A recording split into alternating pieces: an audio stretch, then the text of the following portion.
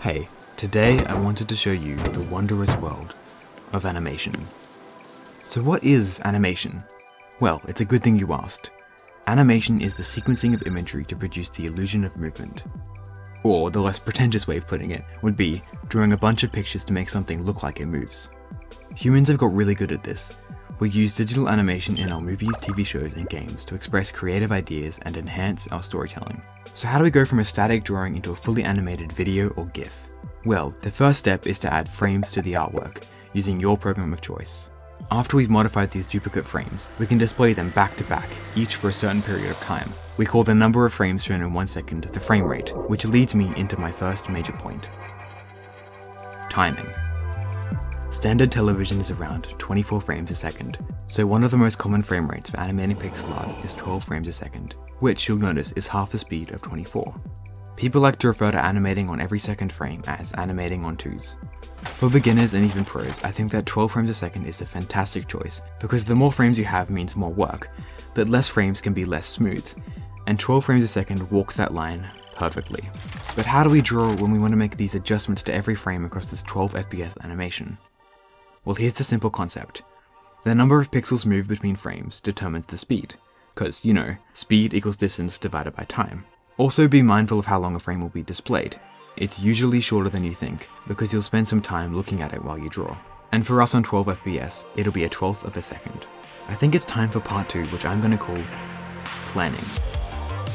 It's one of those things that no one likes to do, but it really enables you to create much better animations in half the time. Don't get me wrong, I never liked to plan out the movements for my animations, until I realised how useful it was. It's so easy to get lost trying to create animations from a static sprite by shifting pieces around and playing with individual pixels, but this often results in an awkward animation. Animation isn't about the lighting or the character.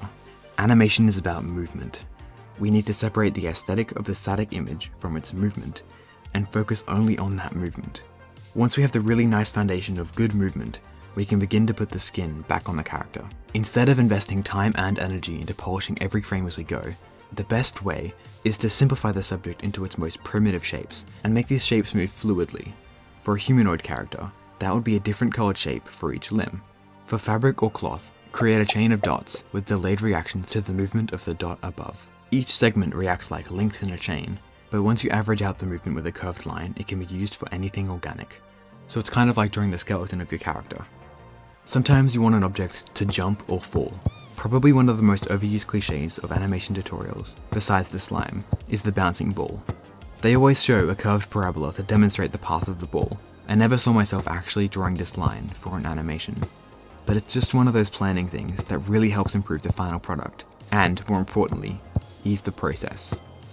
I would 100% recommend drawing a quick line for the path of your animation, because then you only have to think about the object's speed and not the path. I think I've said enough about blending.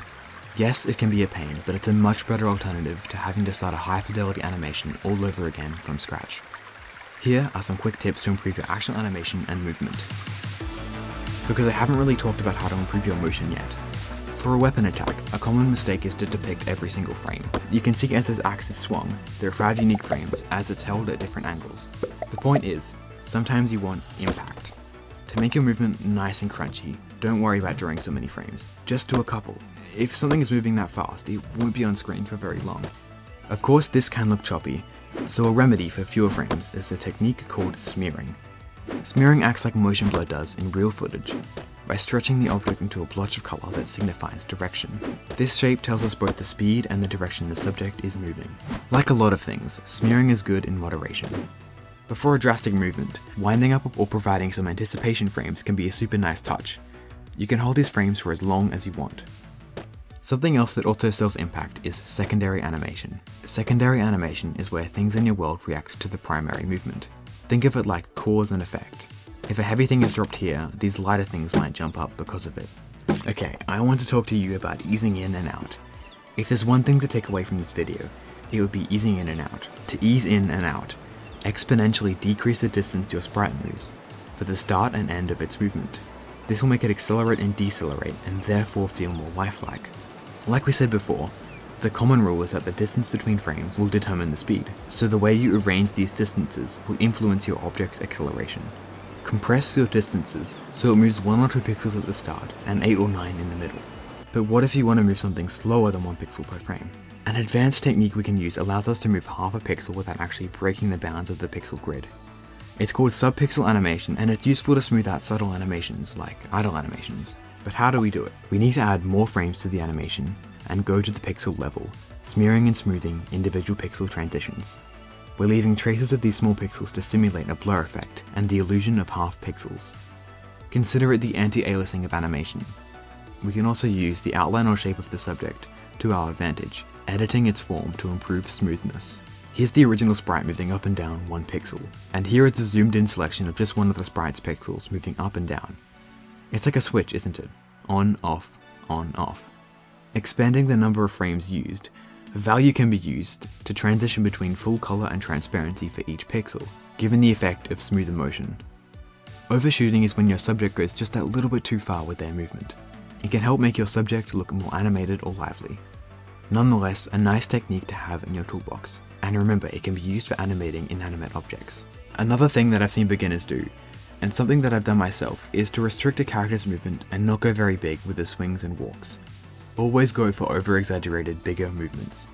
It takes time and planning, but it's a much better alternative to a walk cycle with only a 1 pixel shift in the legs. And when designing your character, give them features that will allow your eye to track the right details to help with clarity. Wow, there's so much to learn. So much for me to learn too. Well hopefully you'll join me on my journey as we learn how to become pixel art pros together.